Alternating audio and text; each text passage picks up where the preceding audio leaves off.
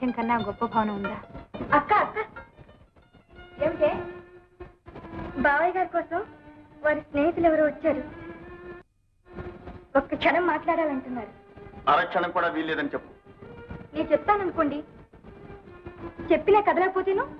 బయట గట్టి తలిపేయి. ఈ వేళ ఎప్పుడు వచ్చాడు. ఎంత అవసరం ఒక్కసారి వెళ్ళి కనిపించకూడదు. ఒకళ్ళ అవసరాలు నాకు అనవసరం. చింతామణి నాకు కావలసింది నీ సౌందర్యం నీ సమక్షం నిన్ను విడిచి వెళ్ళగలనా? నా చేత లేదంటే పోవాను తనులా నీచే తనులా పరువు గల వాళ్ళందరినీ పట్టి తెచ్చి వల్ల వేసుకుని కులికే పిశాచివి నువ్వు నన్ను అడిగిస్తావా నా చేతుల్లో మూడింది నీకు. అబ్బా! నీలాంటి కట్టమొహాలు చాలా మందిని చూశాను. గొంతు చించుకోక బయటికి రాడు. నిన్ను చీల్చి చెడ్డాడాలి పాపమని యోచిస్తున్నాను. బెలవని యువతలకు పంపించు. వాడి సంసారం నాశనం అయిపోతోంది తండ్రికి చాలా జబ్బుగా ఉంది. ఉంటే చావమను. మా ఇంట పడ్డారా పిశాచులాగా?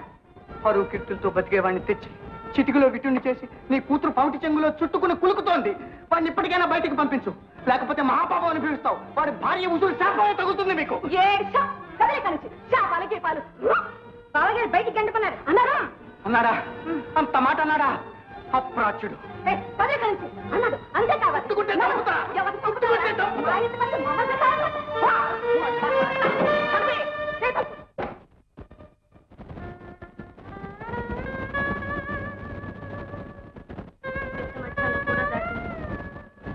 కురిపిస్తోంది ఇంతవరకు భోజనానికి రాలేదు.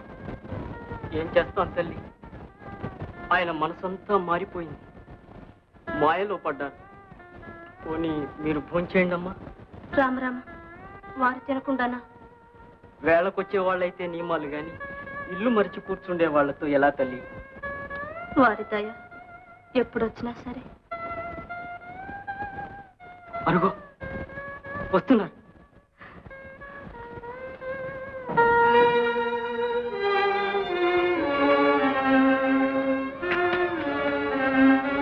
పొద్దెక్కింది.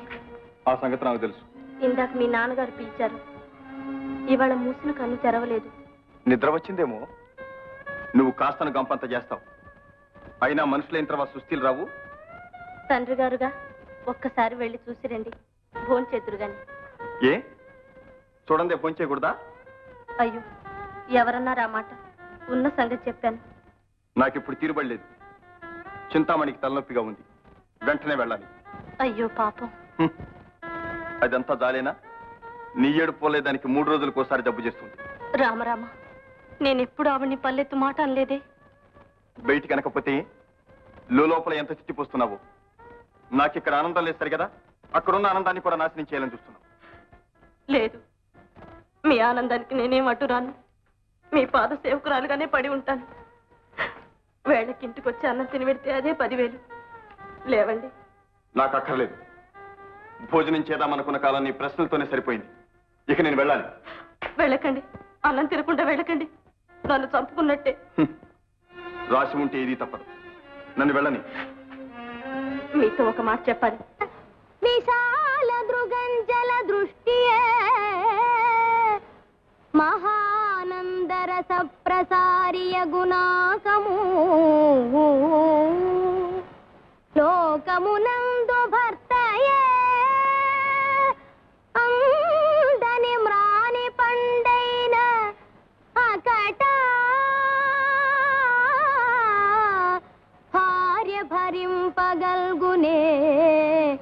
ఆ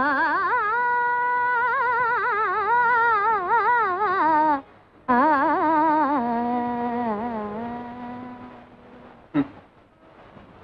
ఇలాంటి భార్యల్ని భర్త మాత్రం భరించగలడా? నేను పెడుతున్నా. ఆగండి. నేను చెప్పదలుచుకుంది ఇంకా పూర్తి కాలేదు. అయ్యేదాకా నేను వినలేను. వినాలి. విని తీరాలి. మీకు కాకపోతే ఇంకెవరికి చెప్పను? అగ్ని సాక్షిగా నన్ను వివాహం ఆడారు. కనుక నా జీవితాంతం వరకు మీ పాదసేవ చేసుకునే హక్కు నాకుంది. అది నెరవేర్చాలి మీరు. నీ హక్కుల కోసం ఇంకా ఆశపడుతున్నావా రాధ?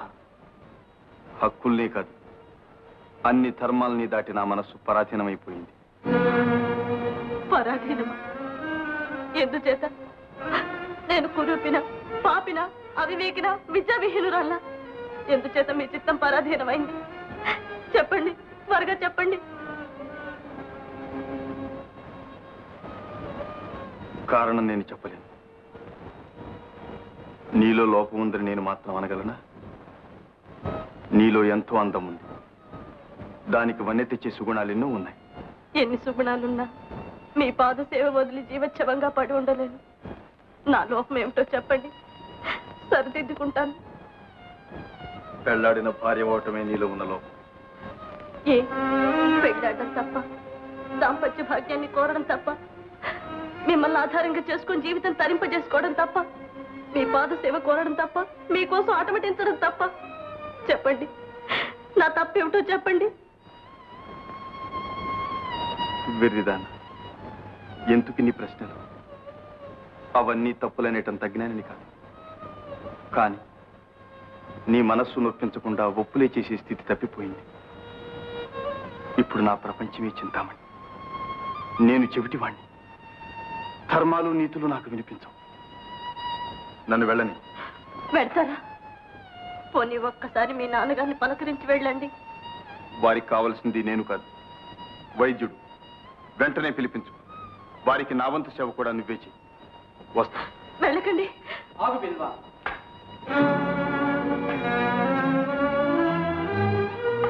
ఏమన్నావు? చిత్తం పరాధీనమైందా? పాపాత్ముడా పండు వంటి సంసారం నాశనం చేసి ఒక పతితకు దాసుడువై కట్టుకున్న భార్యను కన్న తండ్రిని విడిచి కామాంధకారంలో పడి కొట్టుకుంటున్నావా? మాట్లాడమే నీచుడా. మామగారు ఇదంతా నా దురదృష్టం. వారిని దూషించకండి. చూశావా? నువ్వెంత అమానుషంగా ప్రవర్తించినా అది సహించి నేను ఎలా పూజిస్తున్నదో. అలాంటి దాన్ని అధోగతి పాలు చేస్తావా? తరతరాలుగా వచ్చే వంశ ప్రతిష్ట నాశనం చేస్తావా? వ్యభిచారివై తిరుగుతావురా దుర్మార్గుడా. ఇదే నా నీ పాండిత్యం? ఇవే నా నువ్వు నేర్చిన ధర్మాలు వృధాగా బాధపడుతున్నారు నాన్నగారు. ఈ బిల్వ మీరు అనుకునే బిల్వ కాదు. వస్తాను. ఏమండి?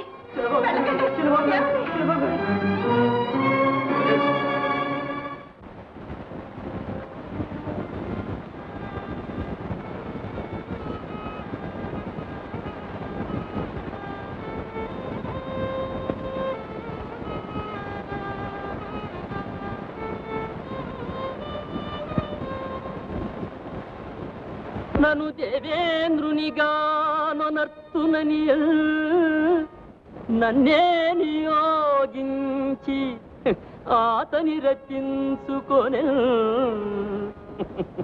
విన్నావా?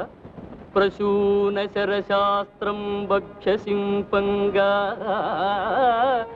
కూనిన రీతి నటించి ఆతని మనోనిరేజం వచ్చి లోగని చూసావా కుక్కను చేసి నన్ను వెడలం కొట్టా. సుధన్ నిర్దయం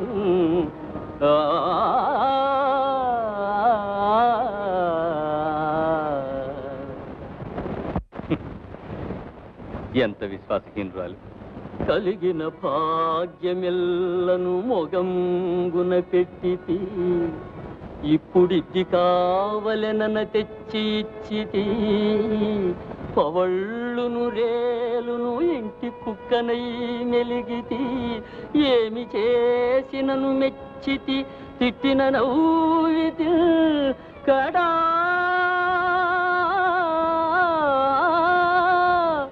తలపకపోయే ఒక్కటి దానికి ఏమి వినాశకాలమో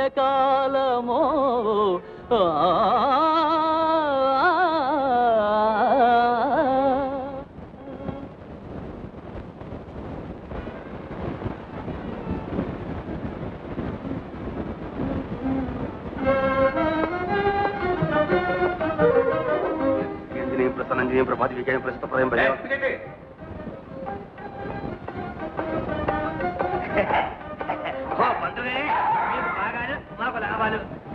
దర్శనాలే పంతుగారు చూసి గిరుక్కుని అలా వెనక్కి అబ్బే మిమ్మల్ని ఇలా వస్తుంటేనే ఆ కొండ పడింది.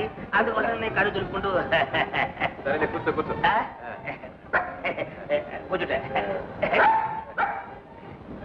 ఇందా. ఈ మధ్య చింతామణికి మనకి చెడింది విన్నావా? విన్నానండి. విన్నానుగా? ఎవరు చెప్పారు? ఇప్పుడు మీరేగా చెప్పారు? అది సరే. అసలు మీకు మీకు ఈ గొడవ ఎందుకు వచ్చిందా అని. ఏముంది? ఇప్పుడు దాని మోజంతా విలోమంగళ మీద పడిందిలే. మంచి పని జరిగింది. మామిడిచిపోడే ఓడు ఎప్పుడైనా ఈడు కట్టబడిపోతానేమో అని ఏక ఉడికిపోయేవాడిని అది సరే. దానికి మీ మీద తగని ఒలిపని చెప్పారుగా. మొదట్లో అలాగే ఉండేది. అంతేలే. మొదట్లో అదాట మేళం. నేను చెప్పినట్లల్లా వినేది. కట్టుకోమన్న చీర కట్టుకునేది. ఇప్పే మన చిరిపేసిదా పెట్టుకోమన్న నగలు పెట్టుకునేది. ఆరోళ్ళు నగలు పెట్టుకోపోవడానికి ఏం కరమో? ఒక్క క్షణం కనిపించకపోతే అసలు తిండే తినేది కాదు తెలుసా? మంతులు సిరిసుంది ఎక్కువ. ఆ, రోజుల్లో నా మీద అంత వలపు ఉండేదని ఎర్రిమొగం ఎంగలే పెవడరంటే దానికి నా మీద తప్ప తమ్ముడి తోలుపు ఎవరి మీద లేదని దాని తల్లే చెప్పింది. ఈ రహస్యం దాని తల్లే చెప్పింది కనుక ఇందులో ఏమి కల్తీ లేదనమాట మళ్ళా బురదలో దిగుతానా? ఏం బుద్ధి ఏం బుద్ధి? ఈ బుద్ధి మొట్టమొదటి నుంచి మీకుంటే ఎంత బాగుండండి పంతులు గారు? అందుకనే నీకు కూడా నా గతి పట్టక ముందే మేలుకోవయ్యా అని చెప్తున్నాను. మేము నిద్రపోతే కదా మేలుకోవడానికి? బాలే పంతులు గారండి. పంతులు సరే ఈ కావడి బిందులు ఎవరండి మరే,